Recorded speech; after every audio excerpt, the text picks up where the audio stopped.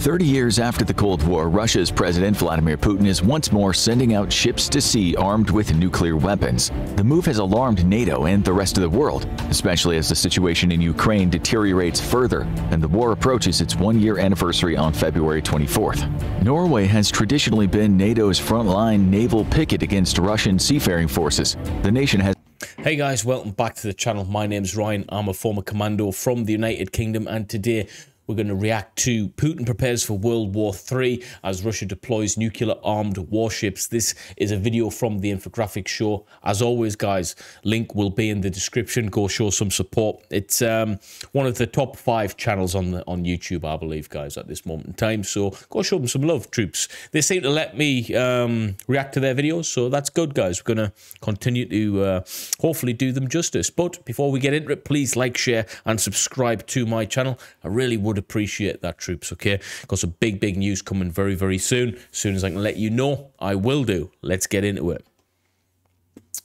has invested heavily, with the aid of its NATO partners, in ocean monitoring capabilities, knowing that it would be on the front line of any confrontation between NATO and the Warsaw Pact. Keeping track of exactly what ships and how many of them made the transit toward the Atlantic could mean the difference between victory or defeat at sea. Thus, the nation was the first to sound the alarm about the departure of a number of vessels from the Russian Northern Fleet, all of which were equipped with nuclear weapons. This marks the first time that Russian surface ships have taken to sea armed with nukes since the end of the Cold War, when global nuclear tensions finally eased after decades of hair-trigger alert. Details remain scarce at the moment, but it appears as if the ships are armed with the same tactical nuclear weapons they would have carried back in the bad old days of the Cold War.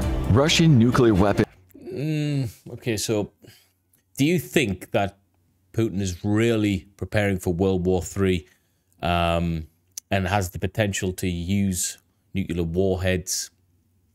I honestly, in my head, don't ever see it happening. But a lot of people do. Are you yeah or nay with that regard? At sea is nothing new. Russian ballistic missile submarines have been patrolling the world's oceans on a near constant state of readiness, at least when they aren't accidentally blowing themselves up and sinking. As part of Russia's nuclear triad, these nuclear-armed ballistic missile submarines do the same job that the American counterparts do, ensure an element of nuclear deterrence can survive a surprise first strike. Typically, Russia's nuclear boats remain close to its shores and under the relative safety of the polar ice cap, as it's no secret that their submarines are priority number one targets for the U.S. Navy. In fact, for much of the second half of the Cold War, U.S. attack subs regularly followed Russian nuclear boats on their patrols, ready to blow them out of the water before they could launch their weapons. Listen, guys, the United States know exactly where these boats are anywhere. Let's get that straight, all right? They're not going to allow a country like Russia to just freely have nuclear uh, armed warships wherever they please. Um, the surveillance on these things will be through the roof. And I'm talking about sophisticated surveillance, uh, the, that of which the world doesn't even know exists. The Americans will definitely have top-notch surveillance on um, on these nuclear armed warships. So, I mean, it's priority number one, as they already explained. This was largely thanks to the advantage in silencing and sensor technology there we go. We've got surveillance system. I took the words right out of my mouth. That the U.S. enjoyed, as well as its formidable SOSUS underwater surveillance system. A trader revealed the capabilities of SOSUS to the Soviets, and the Soviet Navy made great strides in silencing their new boats, making it difficult for U.S. subs to continue tracking them. Just to be safe, though, Russian nuclear subs continue to remain close to shore, where they can be supported by aircraft and are harder to track through polar ice. Yeah, but that's also limiting their capability as well. Okay, if you think about it logically. What makes the recent deployment of Russian ships such a provocation, then, is the fact that these ships are taking to sea with nukes for an entirely different purpose. Rather than carrying long-range ballistic nuclear missiles, Russian surface ships known as Kirov battle cruisers carry short-range tactical nuclear weapons. These nukes had one and only one job during the Cold War, take on American carrier battle groups. The Soviet Union knew that victory in Europe would depend entirely on making sure the U.S. Navy was unable to secure the convoy routes for its heavy material making the transit from the U.S. to Europe. But to threaten U.S. convoys, it would have to face down the might of America's carrier battle groups. This was no easy proposition for a nation with no aircraft carriers of its own, and this is the entire reason the Kirov-class nuclear-powered battle cruisers were developed. Taking on U.S. carriers with long-range bombers was an option, but a very expensive one. The Soviet Union expected it would have to expend 100 bomber aircraft armed with long-range anti-ship missiles to take down a single U.S. carrier. And right, those numbers alone should let you know that that's just not viable, okay? Um, sacrificing 100 of those things is insane, especially when you think well, okay, well, maybe it's worth taking out one of those super carriers. Not really. The amount that America has, it's not even going to dent slightly the um, overall armament, okay? So it's, it's just going to be a pointless waste of what you've got. There's other areas in which they can utilize that more. So it doesn't look good for them, thankfully so and fully expected that not a single bomber would make the return trip home. Even with the vast numbers of Soviet weapons, this was simply not a feasible option for taking on up to a dozen of America's supercarriers, requiring the sacrifice of 1,200 Soviet bombers and their crews. Thus, the battle cruiser was developed, powered by a nuclear reactor, with armor to make even the biggest World War II battleships weep. The logic was simple.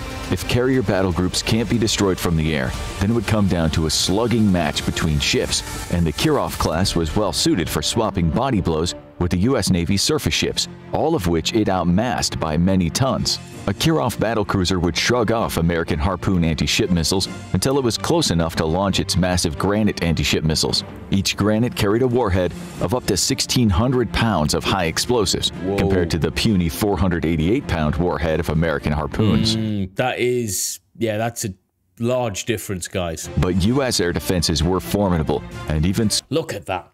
I know it's just a shot and an old one of that, but them nuclear warheads are just insanely powerful. The devastation that they can cause. These images are... We should, we should not be viewing this. We should never have had the opportunity to view this type of destruction as a human in our species. This is just otherworldly, guys. Supersonic granites make for big targets. That's why Soviet fleets could also carry tactical nuclear weapons. With nuclear weapons, precision is entirely optional, and even a wide miss by a 50 megaton warhead could cause serious damage to a U.S. surface action group. When you consider that a Russian fleet could carry dozens of these weapons alongside the big Granite anti-ship missiles, it was enough to give any American air defense operator a rather big headache. Russia's modern redeployment of tactical nuclear weapons on its ships can mean only one thing. It's once more preparing to use nuclear weapons against a far superior NATO naval force. During the Cold War, the Russian fleet was outclassed by just the US. Today, the odds are even more firmly stacked against it, as Russia's navy has seen massive neglect since the end of the Cold War. We've heard this story time and time again. Neglect, neglect, neglect. Russia not taking care of what it's got. So what do you have? You have an old rust bucket military, not capable of deploying for longer periods of time because your tanks are just not capable of doing it. They break, they rust, they don't even work in the first place. What kind of military is this? Let's be honest, guys. It's an absolute shambles. But nuclear weapons are very, very good at leveling the playing field. Yet all is not as it seems. The news seems bad. If Russia is deploying nuclear weapons on its surface vessels, then some fear that it might be preparing to stop U.S. reinforcements traveling to Europe once more, like in the Cold War. This would hint at the widening of the conflict in Ukraine, perhaps a preparation for a direct war against NATO. To say that this would be suicidal is an understatement. For mm. starters, no Russian surface vessel could ever come within firing range of a NATO battle group, with NATO forces enjoying air dominance thanks to its fleet of aircraft carriers and NATO submarines prowling the Atlantic NATO would absolutely, absolutely destroy Russia. Like, like seriously, yes, what they could do in retaliation with nuclear warheads would be destructive enough. But uh, take that aside, we would absolutely batter them. All right, absolutely batter them. It, it would be unbelievable how much destruction would be caused. All right, but we have got the nuclear threat, and once the once the button gets pushed with that, it's bad for everyone, including of Russian aggression, these nuclear-armed vessels would very quickly become nuclear-armed artificial reefs. As usual, Russia's deployment of nuclear weapons is nothing more than silly posturing, as the war in Ukraine turns increasingly against it and NATO begins to move on sending heavy equipment to Ukraine, Russia must turn to increasingly desperate tactics to try to deter NATO support. To be blunt, the Russian military would be absolutely annihilated in a conventional war against NATO in Europe. And that was before its losses in Ukraine.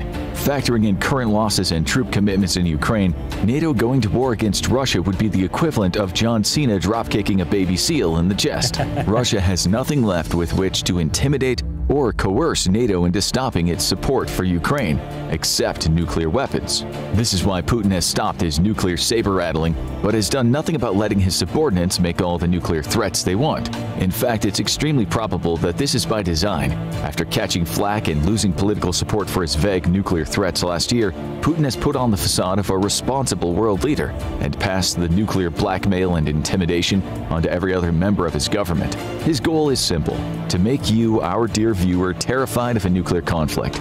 The more, the yeah, and that's what he's done with a lot of people. Not me, though you, you've heard my stance on the channel for this long. It's, I just don't believe it's going to happen. A, pe a period. I just don't. Media talks about nukes, and the more they bring up, quote, escalation, end quote, the more scared Europeans become, and the less likely they are to continue supporting Ukraine.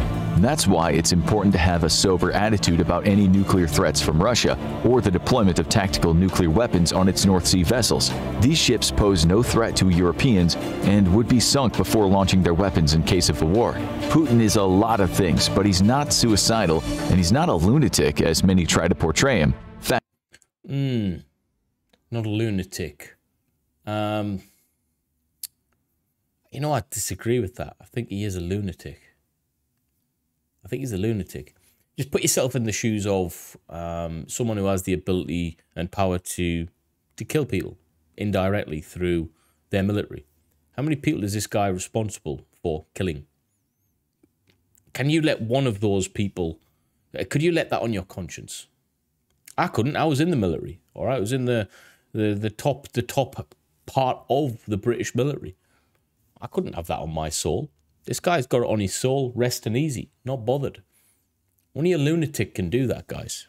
Fact is, you're on the front line of an information war for the fate of Ukraine, and the survival of the Ukrainian people as well as Europe's security future is in your hands. What if NATO and the US wanted to neutralize these ships, though? What options are on the table? First thing would be fixing the positions of these ships.